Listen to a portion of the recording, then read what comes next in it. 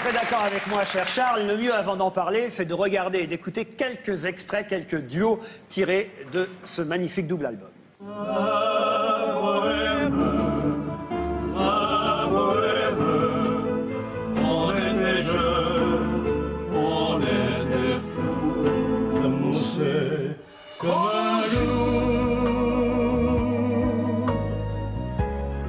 Ça s'en va, ça s'en va.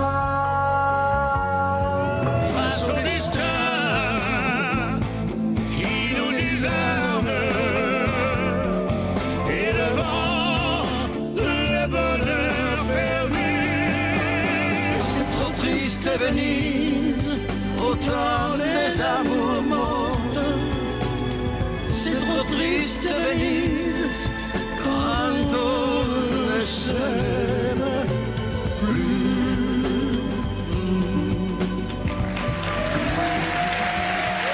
Entre autres, Julio Ecclesias, Elton John, Johnny Hallyday, Nana Mouskouri aussi, qui chante en anglais et en français avec vous. Sting, ah, Sting, moi je trouve ça. Alors là, vous l'aviez rencontré déjà, Sting, ou pas? Ah oui, oui, oui. oui. Ouais. Tous, vous les aviez déjà rencontrés avant? Oui, oui, tous. Non, non, pas, pas Laura. Pas l'italienne. Ah, pas l'italienne, ah, Non. euh, Laura Pa- Pasolini. Ah, Zini. Voilà. Magnifique duo. Magnifique voix. Magnifique duo. Alors pourquoi euh, Merveilleuse voix. C'est vous qui l'avez choisi quand même? Non, non, je crois que c'est son père qui m'a choisi. Ça paraît curieux. Euh, Son père est, paraît-il, un inconditionnel et il voulait absolument que sa, sa fille chante avec moi au moins une fois. Et il avait pas. Elle m'a entendu toute son enfance. Son père l'a emmerdé pendant qu'elle était môme, comme les parents font habituellement, jusqu'à ce que les enfants peut-être s'habituent. Et c'est comme ça que ça s'est passé. Laura Pausini qui chante Paris au mois d'août avec Oui. vous euh, sur cet album. La Bohème, on l'a vu avec euh, Josh Groban. L'amour, c'est comme un jour avec Sting. Rulio pour Que c'est triste Venise. Céline Dion pour cette magnifique chanson Toi et moi. Avec Céline, ça se passe toujours bien? Oui, toujours, très très bien. Et puis on oublie Domingo. Placido Domingo. Placido, oui. Nana Mouskouri. Brian Ferry qui est sur l'album euh, en anglais. Oui. Paul Anka. Oui. Alors lui n'a pas voulu chanter en français, Paul Anka. Bah, euh, non, ça s'est pas arrangé. Pourquoi? Bah, pourtant, il chanterait pas mal en, en français, puisque sa femme parlait français. Johnny Hallyday chante Il faut savoir Oui. avec vous? Et il chante aussi cette chanson En anglais. En anglais. Oui, oui, très bien d'ailleurs. C'est vrai? Oui, oui. Ah, justement, je voulais savoir s'il chantait bien en anglais. Oui, oui, quand vous saurez l'anglais, vous, vous verrez. Vous avez écouté tout l'album? Oui. Alors, Nono. Mais quand on est un peu inconditionnel de Charles Aznavour, je vais vous dire une chose terrible, c'est que à deux, trois exceptions près, on préférait que vous soyez seul. Voilà. J'aurais dit la même chose. c'est terrible. Euh, à chaque fois, on connaît la plupart des chansons par cœur, on se dit, qu'est-ce que ça apporte finalement? On, voudrait vous avoir, vous, seul. Peut-être, la question, ce serait de savoir ce que ça vous a apporté, vous, de- de- Non, d'entendre vos ça, chansons. ça apporte au, plaisir- au- au public un, un plaisir nouveau dans une chanson que- qu'il a entendue pendant des années. Et, et de, de retrouver la chanson sur d'autres lèvres, c'est pas désagréable. Moi, j'aime bien les duos. Par exemple, hier encore avec Elton John, je trouve que c'est une vraie réussite. Et, et puis ça permet aussi à peut-être, même si les nouvelles générations connaissent quelques chansons de, de- de Charles, comme euh, La Bohème, Emmenez-moi, qui sont des incontournables, il y a des chansons moins connues qui, grâce à ces duos, vont être découvertes par le, le- le public plus jeune. Vous êtes d'accord, Charles, avec ça? Oui, oui, je peux survivre. Bon, parfait. Mais- Vous avez bien répondu, Nono? Non, c'est très bien répondu, mais ce qui est surprenant, c'est que, euh, effectivement, les, les chansons sont présentées de, de- de manière nouvelle, mais vos chansons résistent à travers le temps, même des orchestrations d'époque telles quelles. Ça fait pas du tout vieillot par rapport à d'autres chansons, par exemple. c'est parce que à, à- à cette époque-là, nous avions de très très bons orchestrateurs. Il y a, il y a des orchestrations qu'on ne peut pas changer. Aujourd'hui, il y en a plein qu'on peut changer. On peut mettre n'importe quoi à la place. Mais des gens comme Paul Moria, Lefebvre, etc., etc., c'est des orchestrateurs formidables. Éric Zemmour. Non, mais moi, je suis, je suis comme Nolo. je suis un- J'ai du mal à me faire à une à d'autres voix que, que celle d'Aznavour. Donc, j'ai beaucoup de mal à. Mais bon, j'aime les chansons quand même. hein, donc, c'est en anglais que. Moi, j'aime les paroles. J'aime vos paroles depuis toujours. C'est ça qui m'accroche. euh, Elles sont dedans. Bon. Bah, vous pourrez aller applaudir Charles Aznavour à New York ou même au Canada.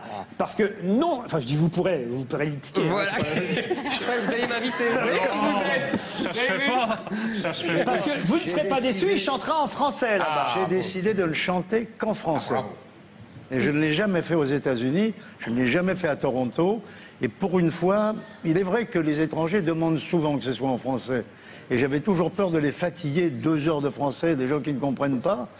Et ben cette fois-ci, j'ai décidé de le faire. Et votre première date à New York, écoutez bien, euh, ça remonte au 30 mars 1963 au Carnegie Hall. Ah, fallait quand même être gonflé pour y aller la première fois au Carnegie. J'avais loué. Vous aviez loué, alors racontez un peu. Eh bien, j'avais loué la salle et c'était la grève des journaux. Et on avait une chanteuse qui avait une petite boîte sur la butte qui s'appelait Geneviève, qui était très très amie avec un monsieur qui s'appelait Jacques Parr, qui était l'homme des, des- des- de- qui faisait la soirée euh, des talk shows. Et tous les soirs, il m'a annoncé le succès de l'année pour les étudiants, pour, pour les musiciens, c'était tirer sur le pianiste. Ils sont venus voir et entendre un pianiste et ils m'ont trouvé moi. C'est assez curieux.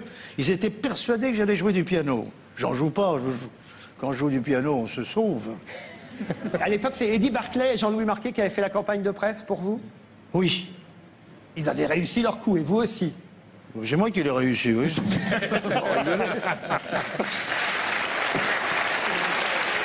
Alors, il y a une anecdote. Votre entourage était contre.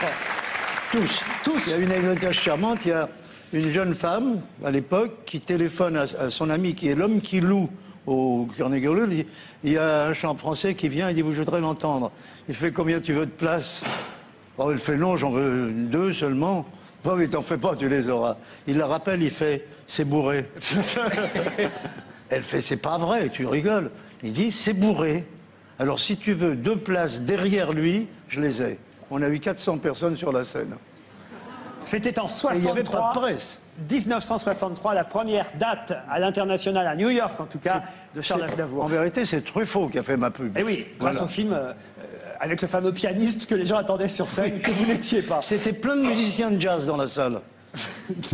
Votre premier grand succès international, c'est une chanson qui est sur le, euh, le deuxième CD, c'est Chi. Non, c'est hier encore. Ah, hier encore. Oui. C'est Yesterday When I Was Young. Il y a des chansons comme ça qui sont. C'est ça la force américaine, c'est le standard. C'est-à-dire que les Français ne le font pas suffisamment. Bruel l'a merveilleusement réussi, mais nous aurions des standards fantastiques si les chanteurs, au lieu de faire 12 chansons nouvelles dont il n'en sortira peut-être qu'une seule, chantaient quelques chansons anciennes, partant même de Delmay, vous voyez Vous êtes d'accord avec ça, Serge Lama? Tout à fait.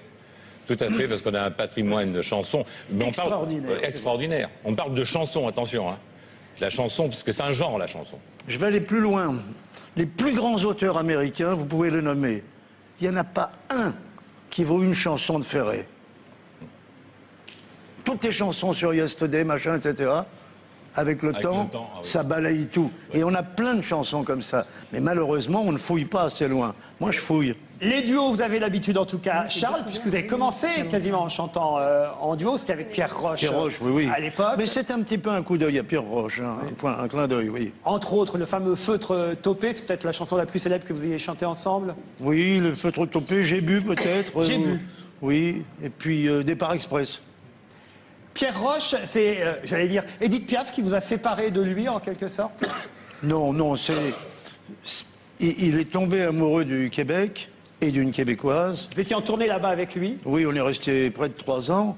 Et puis il a plus voulu rentrer en France. Il a voulu rester là-bas et moi j'ai voulu rentrer, voilà. Et puis c'est ce qu'il fallait, il fallait que ça se brise. Mais on, on est resté très très amis, on s'est jamais disputé, rien du tout. On s'est toujours vus. On a écrit, il a écrit de belles mélodies, il a écrit des choses formidables.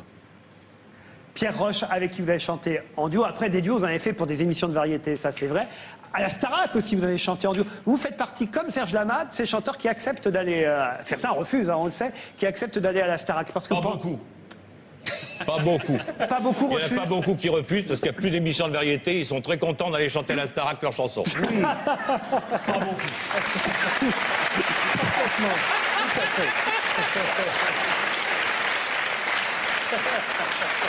Ça, ceux qui, ceux, que- ceux qui disent qu'ils n'y vont pas, c'est comme pendant la guerre. Après la guerre, les gens qui disaient Moi, j'ai pas chanté à, à- à Radio Paris. Oui, oui. Oui, nous, on n'a pas chanté avec Roche à Radio Paris. On n'a pas voulu de nous. On n'a pas chanté.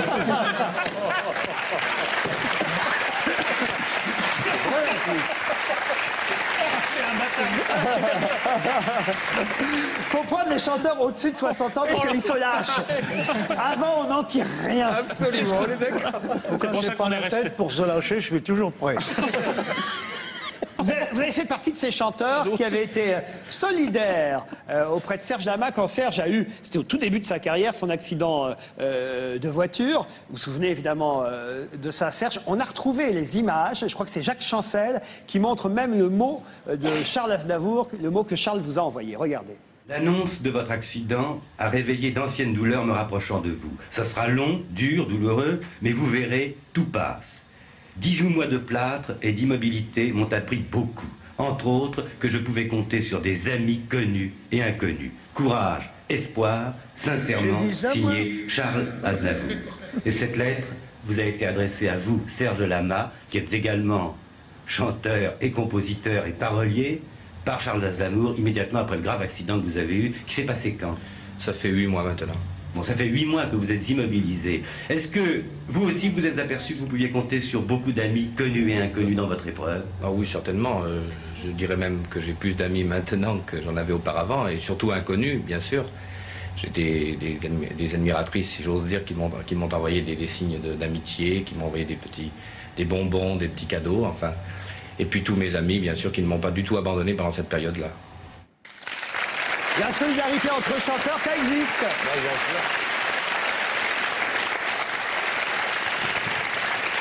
Je reviens un moment sur cet album. Vous avez mis deux ans à l'enregistrer, j'imagine, évidemment, parce qu'il fallait à la, à la rencontre de chacun des interprètes. Voilà, on s'est promené. donc J'étais Ouais, pas vous avez désagréable. voyagé, en fait. Ah oui, oui, moi j'adore voyager de toute manière. Non. Vous avez joint le disque à l'agréable, en quelque sorte. Voilà. Hein, on peut dire ça comme ça. C'est euh, Elton John qui a été le dernier à avoir dit oui, ou peut-être le dernier que vous avez non, rencontré? non, avoir eu le temps de le faire. Ah, pourquoi Il est très très occupé. Bah oui. Parce que chaque fois qu'il y en a une qui meurt, il fourgue la même Vous chanson. savez, vous savez que c'est une vedette internationale. C'est une- oui, mais vous aussi, Charles. C'est une énorme vedette internationale. Lui, c'est une star. Pas vous. Non, nous, on est des, des artisans. Déjà, moi je ne suis pas vous, Charles. C'est très gentil de me mettre au même niveau, mais non, je ne suis pas vous. des artisans Non, vous êtes une star, Charles. Vous êtes une star. Un artisan, comme vous le dites des fois, vous êtes dites que vous êtes un artisan. Ça, c'est vrai, parce que vous êtes, Moi, je- on est tous des artisans, mais vous êtes une star quand on va chanter Oui. à New York. Mais vous savez, ce que j'aime pas, c'est que les stars, ça devient des stars filantes. Il vaut mieux, vaut mieux se tenir loin Ah, c'est le mot étoile filante qui vous fait oui, peur, en quelque voilà. sorte. Charles Aznavour en duo sur deux CD dans ce magnifique double album. Charles Aznavour en concert à l'étranger à partir du printemps prochain au Canada, à New York. En français, vous nous l'avez bien répété, dit ça, c'est formidable parce qu'on peut éventuellement, si on a les moyens, ça y est, encore faut-il les avoir, euh, aller applaudir Charles Aznavour à l'étranger. Et, le spectacle va s'appeler Aznavour en liberté, c'est ça? Parce que vous allez faire ce que vous voulez. Là, je vais essayer de ne pas chanter en noir déjà pour commencer. J'en ai un petit peu ras-le-bol. Et je vais chanter les chansons que je ne chante pas depuis très très longtemps et des chansons que je n'ai pas chantées. Parce qu'il y a des chansons qui sont des envers de disques et qui n'ont pas eu, qui n'ont pas eu la chance de, de, de- de plaire au public parce que peut-être ne les ont-ils même pas écoutés. Il y a des, un disque qu'on remet, qu'on remet, qu'on remet, puis on ne le retourne pas. Bon, maintenant, ils sont en ligne, mais à l'époque, il y avait double face. En revanche, vous ne voulez plus jouer au cinéma. Ce sera ma Non. dernière question. Pourquoi? Je vais être loin de chez moi. Je préfère aller, voir, aller faire deux, trois galas et rentrer. Mais si on vous propose un tournage en plein Paris Ben, on le fait.